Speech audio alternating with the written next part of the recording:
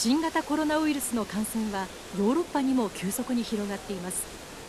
イタリアでは25日までに感染者は322人死者は11人となりました。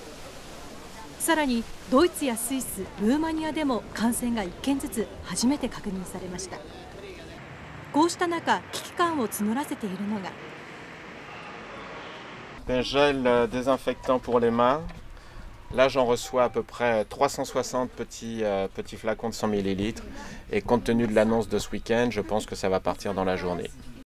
フランスのパリでも新型コロナウイルスで1人が死亡していて感染を懸念する客が薬局に殺到しているといいます。C'est sûr qu'il va y avoir une pénurie de masques. C'est sûr qu'il va y avoir une pénurie de masques dans le sens où euh, euh, à partir du moment où si le virus euh, progresse et arrive, ça veut dire que le port du masque chirurgical sera euh, obligatoire pour tout le monde, donc le masque chirurgical simple.